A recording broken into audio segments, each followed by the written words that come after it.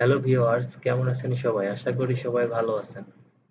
আমাদের কম বেশি সবারই প্রয়োজন হয় স্ক্রিনশট দেওয়ার তো স্ক্রিনশট দেওয়ার জন্য আমরা যেটা করে থাকি computer Windows button print screen দিয়ে আমরা স্ক্রিনশট দিই। এছাড়াও আমরা সার্চ বারে গিয়ে সিনিপিং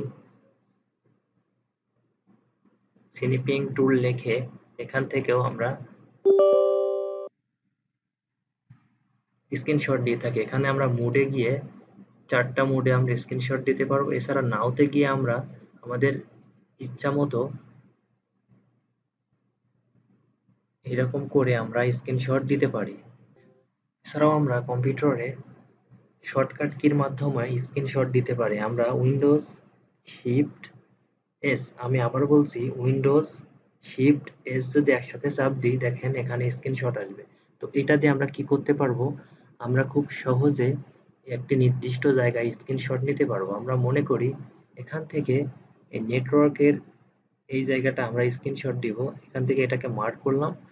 এখান থেকে যদি আমরা এটাকে সেভ করতে চাই সেভ করতে পারব অথবা এটাকে যদি আমরা মডিফাই করতে চাই, এটাকে আমরা মডিফাই করতে পারব। তো মডিফাই করার পরে আমরা এটাকে সেভ দিব। সেভ করার জন্য আমরা এখান থেকে ফাইলের নাম যেটা আছে, আমরা এটাকে চেঞ্জ করতে পারব। তো আমরা চেঞ্জ করলাম না। সেভ অ্যাজ টাইপ এখান থেকে আমরা এই এই স্ক্রিনশটটাকে কি মুডে সেভ করব? এই মুডটাকে আমাদের এখানে দেখাই দিতে হবে। জেপিজি পিএনজি না গিফট আমরা এটাকে পি জেপিজিতে সেভ করব, তাই জেপিজিতে রাখলাম। তারপরে সেভ বাটনে ক্লিক করলাম।